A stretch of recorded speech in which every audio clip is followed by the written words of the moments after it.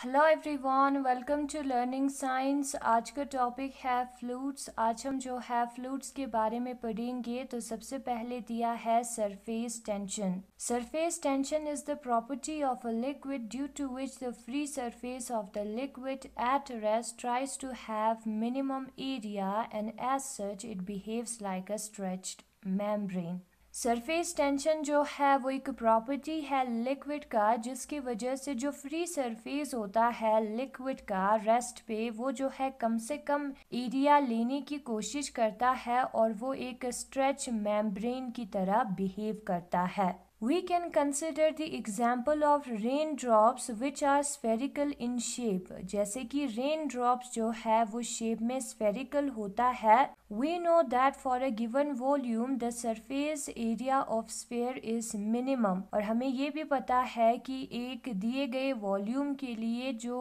Sphere का surface area होता है वो सबसे कम होता है Therefore the spherical shape of raindrops is because the free surface of water in the raindrops try to have minimum surface area जो raindrops का surface है वो बहुत ही कम होता है इसलिए जो rain है raindrops है वो spherical shape का होता है surface tension of a liquid is measured as the force acting on unit length on either side of a line imagined to be drawn anywhere on the free surface of the liquid at rest ठीक है। यहाँ पर एक line दिया है, A B उसके दोनों side पे फोर्स एक्ट कर रहा है। तो उसी फोर्स को हम कहेंगे surface tension it acts at right angle to this line on both sides और ये जो लाइन है वो एक इमेजिनरी लाइन है, जो कि हमने फ्री सरफेस पे ड्रॉ किया है लिक्विड के रेस्ट पर। ये जो लाइन ए बी है, उस पे जो टेंजेंट है, उस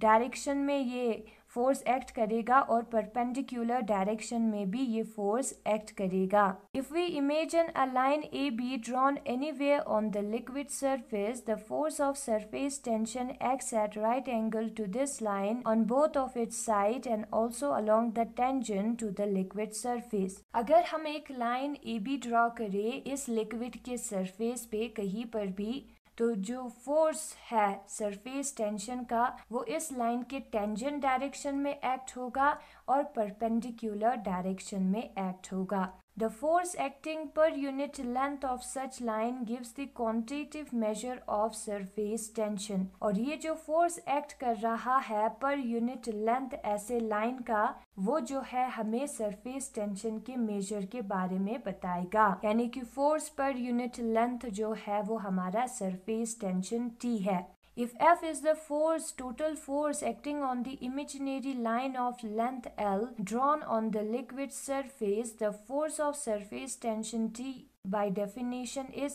अगर एफ़ जो है वो टोटल फोर्स है जो कि इस इमेजिनरी लाइन पे एक्ट करेगा जिसका लेंथ एल है जो कि हमने इस लिक्विड सरफेस पे ड्रॉ किया है तो जो फोर्स है सरफेस टेंशन का टी जो है वो बराबर होगा एफ़ अपॉन एल के S I unit of T is newton per metre और जो एस आई यूनिट है टी का वो न्यूटन पर मीटर है। Examples of surface tension surface tension का एग्ज़ाम्पल दिया है। Needle supported on a free surface जो नीडल है, वो एक फ्री सरफेस पे सपोर्ट होता है तो वो जो है सरफेस टेंशन की वजह से होता है। If a grease needle of steel is gently place on the surface of water अगर हम एक ग्रीस नीडल को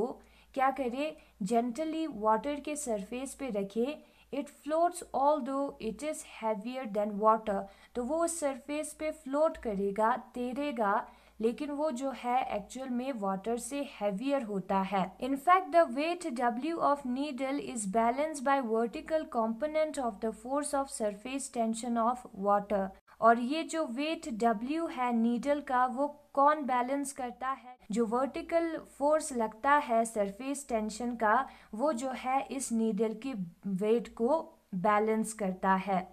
However if some detergent is added into water लेकिन अगर हम उस वाटर के अंदर कुछ डिटर्जेंट ऐड कर ले surface tension of solution is lower तो जो सोल्यूशन का सरफेस टेंशन है, वो कम हो जाएगा and is unable to balance weight of needle और नीडल की वेट को वो बैलेंस नहीं कर पाएगा. As a result the needle sinks जिसके वजह से जो नीडल है वो डूब जाएगा। Insects on surface skin insect जो है वो वाटर के सरफेस के स्किन पे रहता है सरफेस पे रहता है। वो क्यों होता है? Fly mosquitoes and water beetles creep freely on the water surface as if moving over thin leather sheet जो फ्लाई होता है या मस्किटो होता है या वाटर बीटल्स होता है, वो जो है सरफेस वाटर के सरफेस पे ऐसे चलता है जैसे कि लेदर पे चल रहा हो। The beetle B bends it legs on the surface of water such that the weight is balance by the upward component of the surface. Tension forces acting tangentially to the deformed surface. जो beetle है B ठीक है, वो क्या करता है, अपने leg को बेंड करता है सरफेस पे सच दैट इट्स वेट ताकि उसका जो वेट है, वो जो है सरफेस का जो अपवर्ड कंपोनेंट है सरफेस टेंशन फोर्सेस का,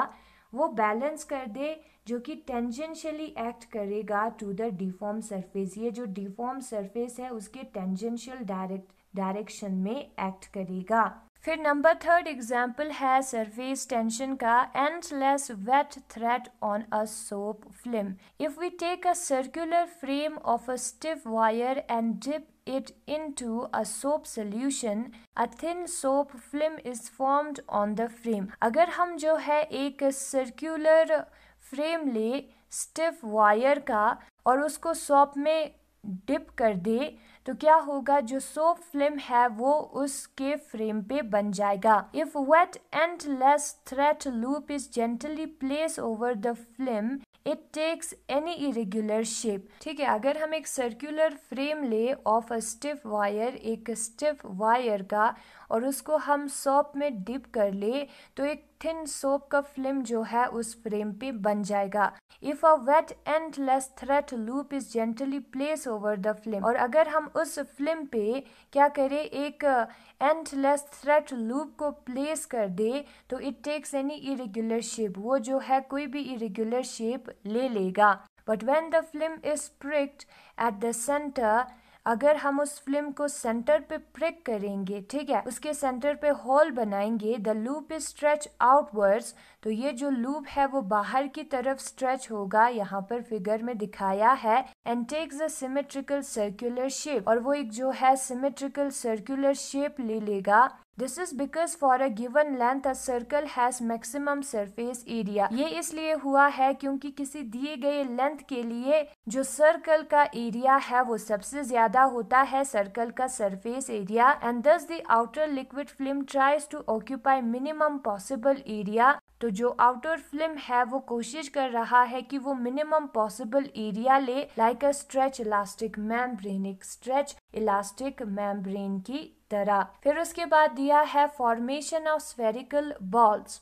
When a molten metal is poured into water from a suitable height, the falling steam of molten metals break up and detach portions acquire spherical shape. अगर हम molten metal को water में डालें एक suitable height से तो क्या होता है जो स्ट्रीम होता है मोल्टन मेटल का फॉलिंग स्ट्रीम जो है वो टूट जाता है और टूटा हुआ पोर्शन जो है वो स्वेरिकल शेप लेता है। This technique is use for preparation of lead shots and glass marbles etcetera और ये जो है सरफेस टेंशन का एग्ज़ाम्पल है और इस टेक्निक को हम यूज़ करते हैं लेड शोर्ट्स और ग्लास मार्बल्स बनाने में। फिर उसके बाद फिफ्थ पार्ट दिया है। Fifth है mercury drops. If mercury is spilled on a tabletop, the small drops are always spherical but larger ones are somewhat flattened. अगर जो mercury है वो टेबल पे गिर जाए तो जो छोटे ड्रॉप्स है वो जो है हमेशा स्फेरिकल होता है जो लार्ज ड्रॉप्स है, वो थोड़ा सा फ्लैट होता है, लेकिन जो छोटे ड्रॉप्स है, वो स्फेरिकल होता है। Shape of a drop lying on a horizontal surface is control by the combined influence of surface tension and the force of gravity जो शेप है ड्रॉप का, वो जो है सरफेस टेंशन और ग्रेविटी दोनों की वजह से होता है एक हॉरिजेंटल सरफेस पे। For tiny drops, the force of gravity, that is weights of drops is negligible. Therefore, under the action of surge, therefore under the action of surface tension, drops become spherical. जो छोटे size के drops होता है उन पे gravity का कुछ असर नहीं होता है क्योंकि उनका जो वेट है वो नेग्लिजिबल है इसलिए उनका शेप जो है वो स्फेरिकल होता है क्योंकि उस पर सिर्फ़ सरफेस टेंशन का असर होता है। However in case of larger drop force of gravity is applicable and tries to flatten the drop so as to lower the position of its centre of gravity लेकिन जब ड्रॉप जो है वो large होता है तो उस पे जो है ग्रेविटी का असर पड़ता है और वो जो ग्रेविटी है उस ड्रॉप को फ्लैट कर देता है ताकि उसका जो सेंटर ऑफ़ ग्रेविटी का पोजीशन है, वो कम हो जाए। Thus under the combine action of surface tension and force of gravity drop acquires an oval और इलिप्टिकल शेप तो इसलिए सरफेस टेंशन और फोर्स ऑफ़ ग्रेविटी की वजह से जो ड्रॉप है, वो या तो ओवल शेप का होता है या इलिप्टिकल शेप का होता है। फिर उसके बाद नंबर सिक्स दिया है rain drops rain drops falling freely Tiny dewdrops and small water drops ejected from a pipette or burette are always spherical due to property of surface tension. Raindrops जो कि freely fall हो रहा है tiny dew drops या small water drops जो है वो pipette या ब्यूरेट से जो निकलता है, वो जो है हमेशा स्वेरिकल होता है और ये जो है सरफेस टेंशन की प्रॉपर्टी की वजह से है।